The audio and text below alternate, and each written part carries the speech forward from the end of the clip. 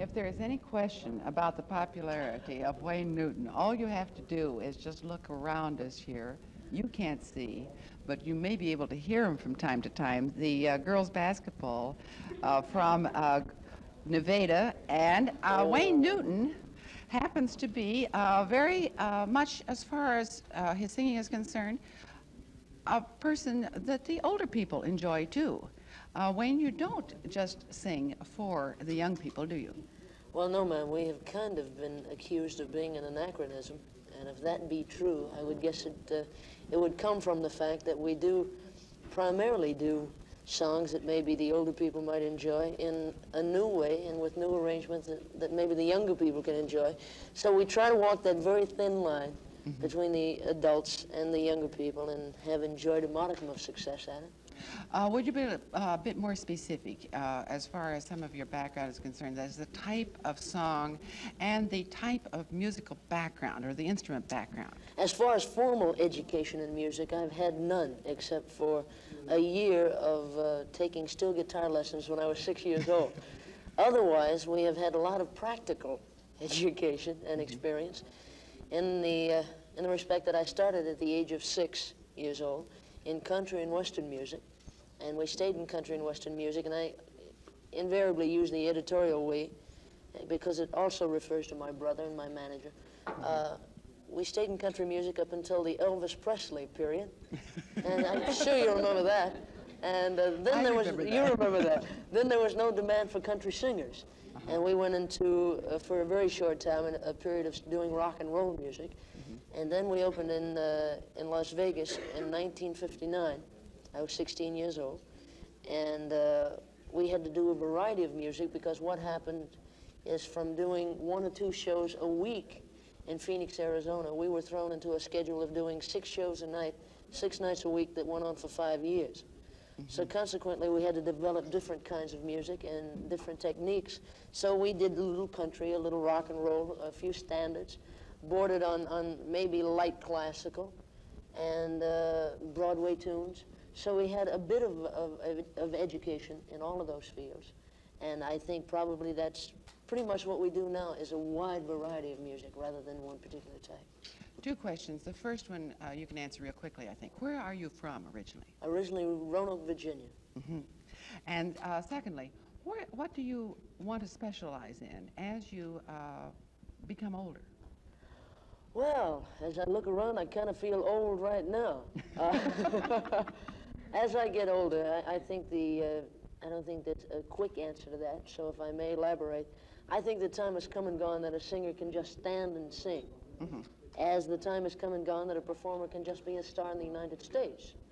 Uh, you have to do more things than just sing. You have to be a performer, for instance, and you have to strive to be an international star. Now, what this means is to embellish your career and try to take in possibly acting, if you're able to do it, uh, maybe a weekly television show or specials, records, nightclubs, uh, concerts, fair dates, and rodeos. If you can do all those kind of things, then of course it's a little easier to achieve some kind of longevity.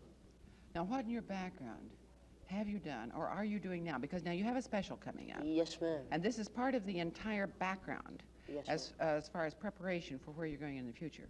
We have very uh, definitely planned, rather than having it be accident, what we want to do in the future and taken concrete steps uh, in hopes that when the future comes and when those things are there that we have constantly hoped for, that we will be able to do it, such as motion pictures. I have done three or four or five uh, dramatic television shows, which I've enjoyed immensely, and, uh, and I hope to do more. Uh, our special is certainly a prime example of what I'm talking about in the respect that the concept is called One More Time. Mm-hmm. And if I may mention the guest stars briefly, Yes? I'll take a deep breath. We have Tennessee Ernie Ford, Count Basie, Kay Starr, the Mills Brothers, Johnnie Ray, Frankie Laine, Louie Bellson, Louis Jordan, Charlie Barnet, Les Brown, and Paul Weston.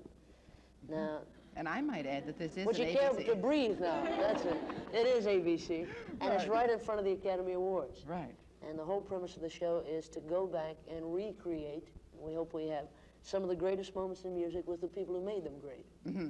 And so it was uh, quite, a, quite a kick for me. I loved it. Now, you're, uh, you're doing records now at the present Yes, ma'am. Mhm. Now, uh, does this, how long have you been doing big seller records? well, it varies. What was the first one? the first one was a, a tune called Heart uh, that got into the top 20 across the nation, and then along came Danke Schoen, and then Red Roses, and then Apple Blossom Time, and Summer Wind, and so on down the line. But we have got into an area of recording also that is kind of unique in the respect that we probably sell more album records than single records. Usually what happens is you record a single, if it becomes a hit, then the album, it comes right out of the single. Unless do you're you- going to do an album. Do you record the, the single and the album at the same time? Not necessarily. And as a matter of fact, when you're proving yourself, as we had to on many occasions, you record a single record first because it's a lot cheaper for the record company to produ- produce a single record than an album. And then once the single record becomes a hit, they will request that you go on and do an album. Then do you have to re, uh, do it to record for the album? No, ma'am. What they do is take the master off of the single and usually uh, title that. For instance, Walking on New Grass is the title of my brand new MGM album. There is a tune in there called Walking on New Grass. So what you do is record probably 11 songs in an album and you take what you think could possibly come out as a single or has been a single and title the album after that. And so then uh, you can include in different albums, some of, uh, depending upon the title and the composition, different songs, and it may be a repeat sometimes of one from before. For instance, we, uh, we've done Danke Schoen, I think, in three different albums. Uh, one being the title album from the tune. Secondly, I did a uh, Wayne Newton in-person album at the Crescendo a few years back.